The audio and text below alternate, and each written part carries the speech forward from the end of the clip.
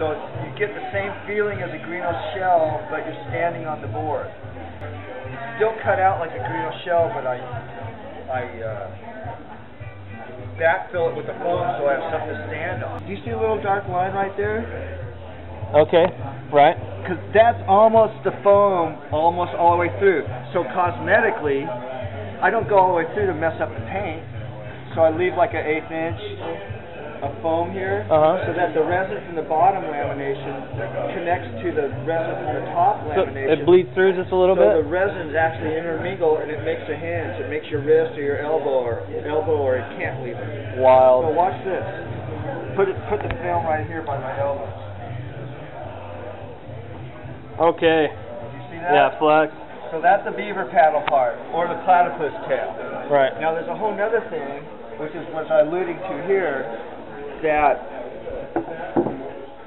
when here's your rail, and here's your fin, and now you got your rail and your fin doing this. Besides the cantilever part, there's five things going on here. You got the cantilever, and you got both sides going both ways. Well, so what what would you describe it, it does to the ride?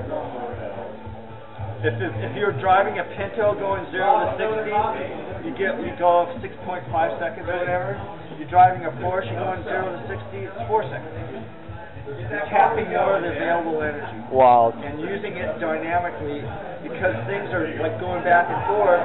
It's constantly displacing more energy.